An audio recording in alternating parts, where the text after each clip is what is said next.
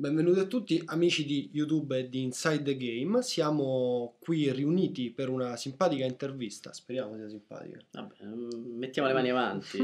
Normale intervista. Normale intervista con eh, Giacomo Cannelli. Giacomo Cannelli che è eh, insomma conduttore a Current TV di una trasmissione Geek Files e di un'altra trasmissione Geek Retro che ha parlato anche più volte di videogiochi. Sì, sono negli argomenti, insomma, rientra qualche volta, un po' da dietro, certe volte cerca di rientrare dal... Beh, c'è stata addirittura una puntata che poi abbiamo presentato nel blog che eh, è tutta eh, relativa a i videogiochi di un tempo. Sì, no? abbiamo fatto una Forse puntata... addirittura sulla storia dei videogiochi. Sì, abbiamo fatto una puntata speciale perché Geek Retro, che è questo programma che comunque parte dal passato per, per arrivare al presente e poi vedere che succede dopo, eh, la prima puntata è stata proprio. La prima puntata è stata la prima puntata era sui videogiochi. Ho insistito tantissimo per questa cosa.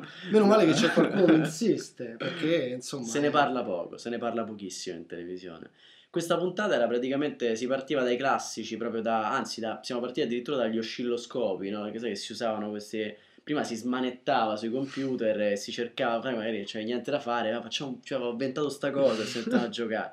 Poi piano piano si è arrivati a Pong, si è superata quella fase, Donkey Kong cominciano a uscire per, fare i personaggi e da quello siamo arrivati a parlare fino a Heavy Rain, che è stato un po' il fenomeno di quest'anno perché eh, si poneva come film limite, cioè come, scusate, film, ecco, un lapsus freudiano, qualcuno ha detto è un film interattivo, loro hanno detto no, non siamo un film interattivo.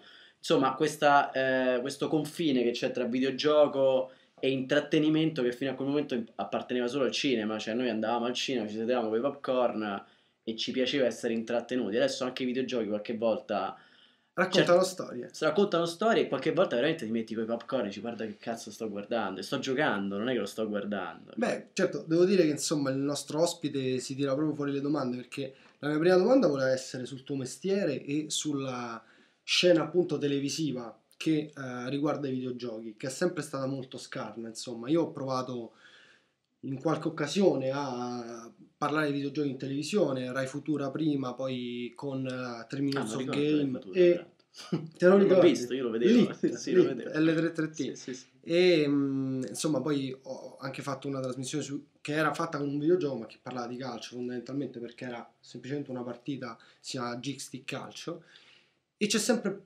pochissimo spazio per i videogiochi. Quando se ne parla, addirittura se ne parla male nei TG, a porta a porta certo, ne ha certo, parlato bisogna... malissimo Riccardo Schicchi sì, sì. che ha un alibi beh perché comunque un opinionista di tutto rispetto per il mondo dei videogiochi adesso voglio dire chi che non, ha detto che insegna non lo conosce nel mondo dei videogiochi esatto. no? Cioè. e uh, in televisione se ne parla poco Current TV ci ha provato Current TV è una rete giovane una rete che definirei anche un po' contro e... Beh, molto diversa, ha radici molto profonde nel, nel, nell'online nel, nel, mondo della rete, nel senso che partiva da lì, era lì che, che, si muoveva, era stata una delle prime che, anzi forse addirittura prima di YouTube, insomma si cominciò con l'idea del, del prodotto generato da chi ti guarda e quindi da questo contatto diretto con le persone e quindi la possibilità di interagire direttamente con lo schermo, perché fino a un certo punto noi guardiamo la TV, però cioè, guarda che stronzata che ha detto, però non glielo puoi dire, invece a Karen si poteva, cioè tu potevi commentare i video che andavano in onda, quindi c'era un... si potevano scaricare i video, c'era il pod, già un podcast delle cose che si potevano fare, quindi molto diverso. Cioè, adesso ci sono arrivati quasi tutti, perché poi se vediamo Mediaset, Rai, pure ha fatto un ottimo sito, perché anzi, veramente, c'è cioè uno dei pochi, non so se l'hai visto, il sito no. Rai nuovo. Beh, c'è un sistema di on demand, insomma, ci sono cose che funzionano, però dieci anni fa. Cioè, questo è il problema. Vabbè, ma insomma, non, non siamo No, non parlare... giriamo da altre parti. No? Infatti, ritorniamo al programma. Ritorniamo a videogiochi e TV. Videogiochi un e rapporto TV. Sempre, da sempre conflittuale. Conflittuale. Io mi ricordo c'era un canale che mi guardavo quando c'avevo stream addirittura, prima di, che ci fu la fusione con Sky. Ah, sì, sì, sì, sì mi ricordo. Ed era un che, che, che programma era? Come si chiama? Perché in realtà poi era un feed straniero perché non c'era nessun presentatore italiano. Non, era... non ce l'ho presente. Di base mandava un flusso di trailer dei videogiochi, partite online registrate, quindi un programma se ti ricordi, era Games forse si chiama proprio qualcosa tipo Games qualcosa, non mi ricordo, scusate se sono così poco preciso, però ero, cioè, 10-15 anni fa, chi se lo ricorda, cioè già tanto che ancora mi ricordo questa cosa. E io dicevo, vedi, però, cioè, sto in televisione e mi guardo eh, un trailer, perché all'epoca poi YouTube non era così facile vedersi i trailer, quando scaricavi un trailer Beh, all'epoca gioco... non c'era perché YouTube era nel 2005. Sì, no, infatti no. Se poi se volevi scaricare un video all'epoca era praticamente, oh guarda sto gioco è uscito, nel frattempo era uscito il sequel e tu stavi ancora a scaricare il trailer del gioco, quindi non si poteva fare, non era fattibile. E il fatto che andava in televisione era divertente, perché comunque io qualche volta ci sono stato. Era proprio la base della TV, eh? cioè ovvero mandavano niente e tu guardavi niente, però era qualcosa, era un inizio.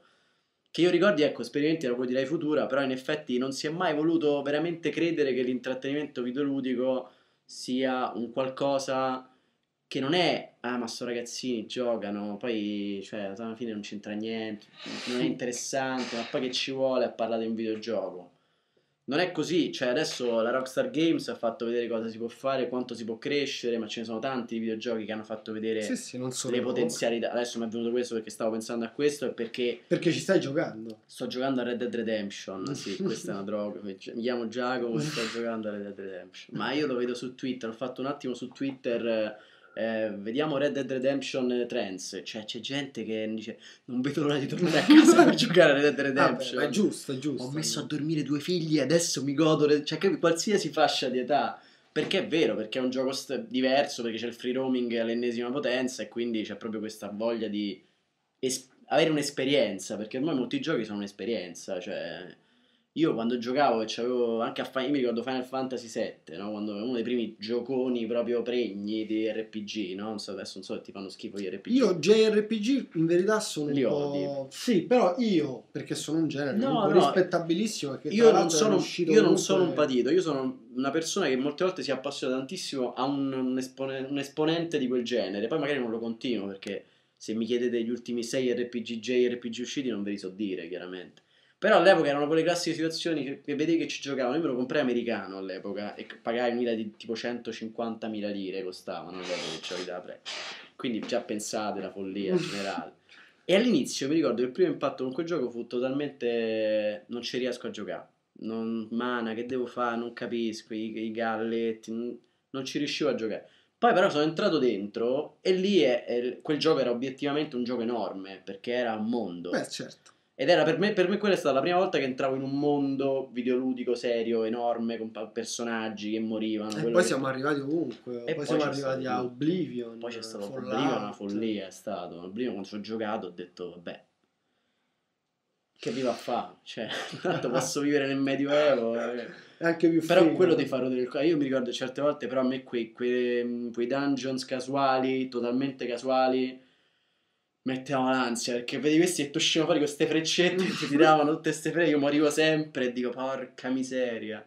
Però quello online sarebbe fighissimo, ad esempio. Beh, non so se c'è, c'è, c'è una versione. Warcraft o qualcosa di simile. Eh, sì, World of War- io World of Warcraft, posso dire la verità, World of Warcraft ci ho giocato solamente a casa di un mio amico, non ci, ho mai, non ci sono Io mai non ci ho mai giocato. Ci hai mai giocato? No, so- conosco i miei limiti. Ok. So che se gioco a World of Warcraft. eh, non Io non, ecco, non più. mi sono mai provato in una situazione del genere. Io giocai al Dreamcast quando entrò online. I primi con Pensa sei come si chiamava? Che gioco era? Che era oddio, Forse. Final Fantasy Star Online. Fantasy Star Online. Comprai quello, poi ce ne uscirono altri per giocare online, ma quello è stato il primo che attaccavi la tastiera, capito? Io avevo la tastiera, io avevo la tastiera del Dreamcast a casa, non ci fai niente. C'è un attacco che non entra da nessuna parte, l'hanno fatto solo per la tastiera. del- Non era l'USB, capito? Dice, vabbè, la uso per PC. No, la butti, sta lì nuova, spagnola poi, perché in Italia non esiste, non l'hanno mai distribuita, immagino. C'erano, c'erano poche.